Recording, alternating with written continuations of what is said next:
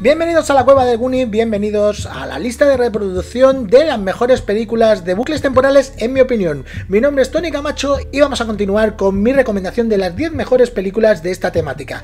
Ahora toca el número 7, pero si quieres saber cuáles son las anteriores, pulsa aquí. Y si quieres saber cuáles son las siguientes, solo tienes que seguir viendo esta lista de reproducción, porque si ha llegado aquí a través de las recomendaciones de YouTube, a lo mejor no sabes que es una lista. Por cierto, suscríbete, que no lo he dicho en los dos anteriores vídeos, pero en este sí, suscríbete. En el número 8 tenemos El mapa de los instantes perfectos, una pequeña película comedia romántica de adolescentes que también podéis ver en Amazon Prime Video. Llevamos tres películas, las tres en Amazon Prime Video, así que como he dicho, solo tenéis que entrar en Amazon Prime Video y poner bucles temporales y salen mogollón de películas.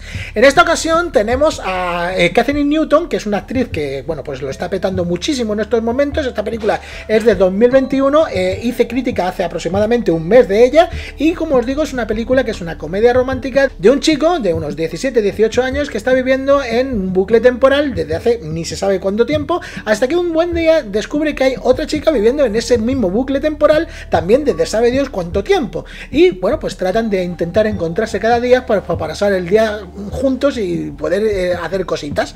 Eh, ¿Qué ocurre? Como siempre en este tipo de películas, en este tipo de historias, pues se acaban enamorando. Pero antes de enamorarse, lo que tienen que hacer es pues pasar el día eh, descubriendo los mejores instantes de, ese día, porque tanto él como como ella van descubriendo cosas diferentes de que van ocurriendo cosas chulísimas que a ellos les gustan mucho. Como por ejemplo, pues una tortuga pasando en la calle o una cosa bonita de un niño.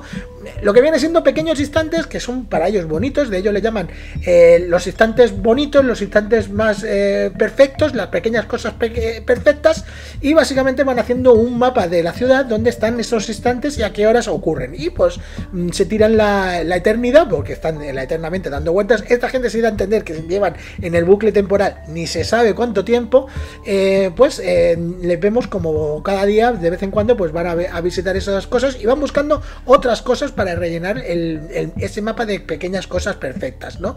Eh, lo mejor que tiene esta película, pues sobre todo la interpretación de Catherine Newton, que está muy bien, es una actriz como la copa de un pino, y que, bueno, pues es una comedia muy ligerita, es una historia muy ligera, muy de ver tranquilamente, no se comen la vida, no nos explican cómo caen en el, en el, bucle temporal, simplemente ya conocemos a ambos personajes dentro de ese bucle temporal y cómo intentan salir de él, pues intentando analizar lo que viene siendo lo eh, teoría cuántica. Porque es que lo que tienes, si te tiras la eternidad viviendo un bucle temporal nueve, te da tiempo a estudiar cosas cuánticas, intentar salir de él. Total, que es una película que es divertida, está bien hecha, eh, tiene un ritmito muy majo y es cortita y se ve perfecta. Es una película perfecta para ver un sábado por la tarde con sofá y mantita. O sea, ya os digo, eh, eso sí, como he dicho, es mucha temática adolescente, como ya también tuvimos en la película número 9. Y bueno, como, como punto negativo de que pueda tener este mapa de las pequeñas cosas perfectas, el punto negativo que tienes, pues que mm, dejan un poquito de lado la ciencia ficción de todo lo que viene siendo el bucle temporal, la historia del bucle temporal o por qué ocurre el bucle temporal para tratar de emocionarnos con las cosas que van viendo.